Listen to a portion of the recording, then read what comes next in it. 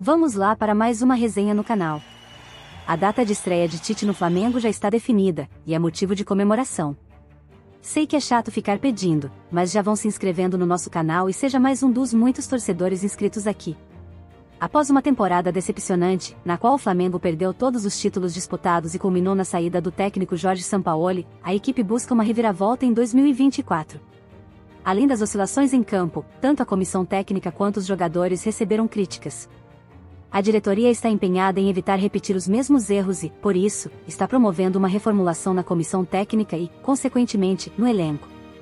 Com a saída do técnico argentino, o nome mais provável para assumir o posto é o de Tite, ex-treinador da seleção brasileira.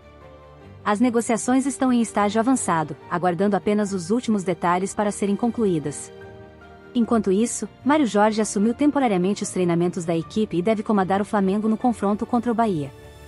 No entanto, segundo informações do jornalista Paulo Vinícius Coelho, conhecido como PVC, a estreia do novo treinador não deve demorar. Ele revelou que é possível que Tite assuma o comando após o jogo contra o Corinthians, agendado para o dia 7 de outubro, às 21 horas, na Neoquímica Arena. Vale ressaltar que o rubro-negro está atualmente na sétima posição do Campeonato Brasileiro, com 40 pontos, apenas dois do G4. O principal objetivo do novo treinador será garantir uma vaga direta na Libertadores de 2024. Durante o programa Posse de Bola, o jornalista Mauro César divulgou que o acordo com Tite está prestes a ser concretizado.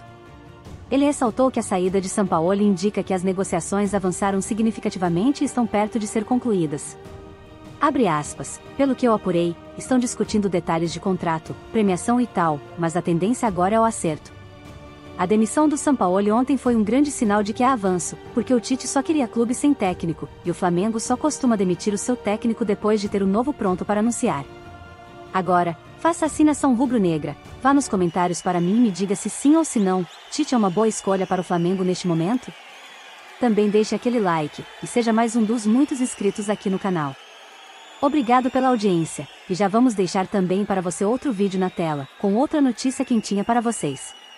Agradeço por ter assistido o vídeo e trarei qualquer novidade em primeira mão. Se quiserem entrar no grupo do WhatsApp para trocar uma ideia sobre o Mingão, vou deixar o link na descrição do vídeo. Um beijo da Soraya.